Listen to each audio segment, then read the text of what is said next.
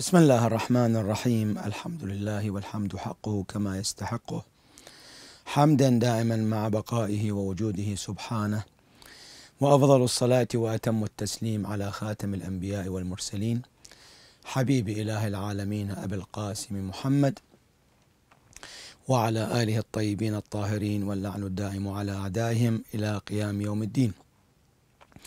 أحبتي المؤمنين السلام عليكم جميعا ورحمة الله وبركاته. وعظم الله أجورنا وأجوركم بهذا المصاب الأليم الجلل الذي يمر علينا في هذه الأيام الحزينة أيام استشهاد أمير المؤمنين صلوات الله وسلامه عليه. نسأل الله تعالى أن نكون أهلا لأن نعطي حق هذا المصاب إن شاء الله. نبدأ بالمرحلة الثانية من حياة أمير المؤمنين سلام الله عليه أو الدور الثاني وهو من بعثة النبي إلى الهجرة.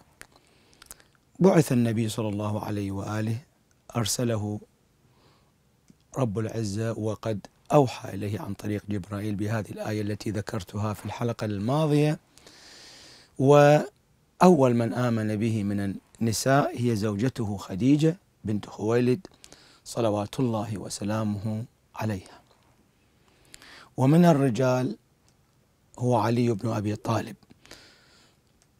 رغم أنه علي بن أبي طالب قد البعض يكون من من يذكر علي بن أبي طالب يقول من الصبيان يعني كأنما يريد يصغر حجم المولى أمير المؤمنين.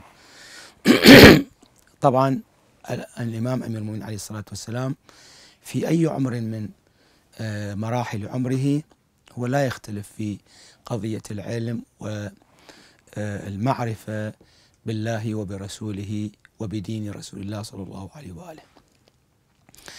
وذكرت لكم أحبتي في نهاية الحلقة الماضية أننا لا يمكن أن نقول أن علي بن أبي طالب أسلم.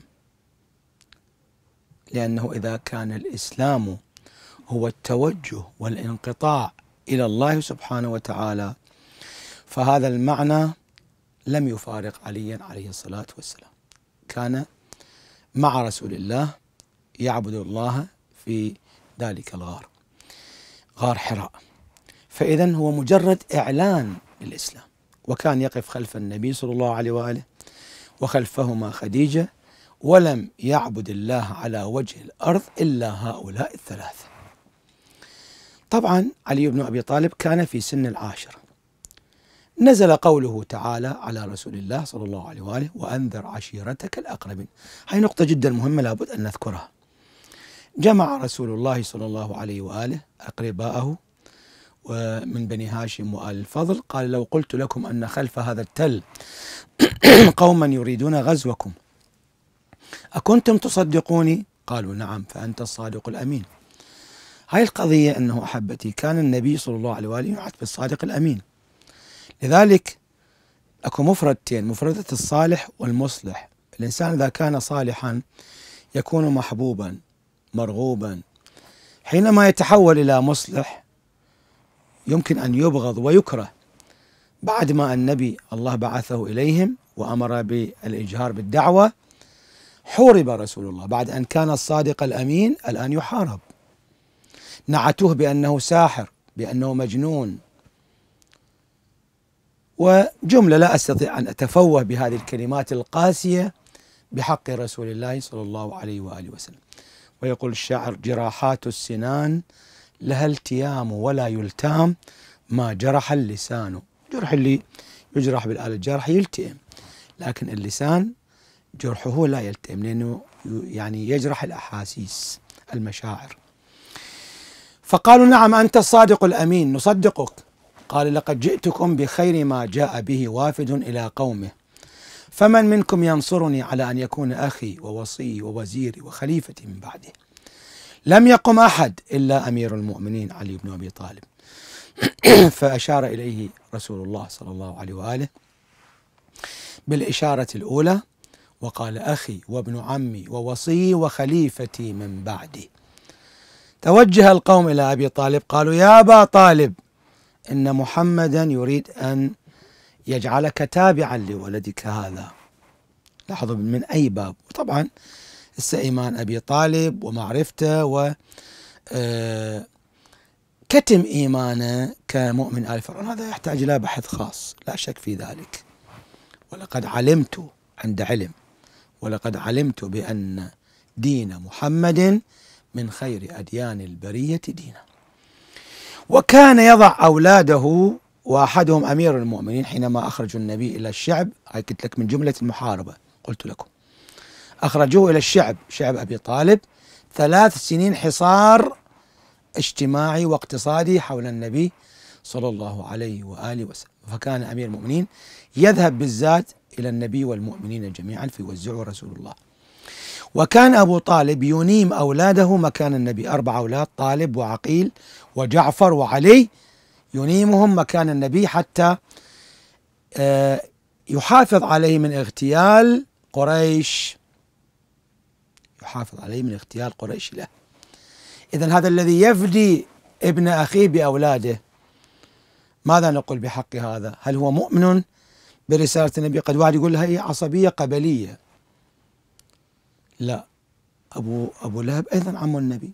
لم تأخذ العصبية القبلية لكن أبا طالب حتما ويقينا عنده إيمان برسالة النبي اللي يفديه بنفسه وبأولاده فيضع أولاده مكان النبي خوفا عليه من الاغتيال. وأحدهم أمير المؤمنين صلوات الله وسلامه عليه.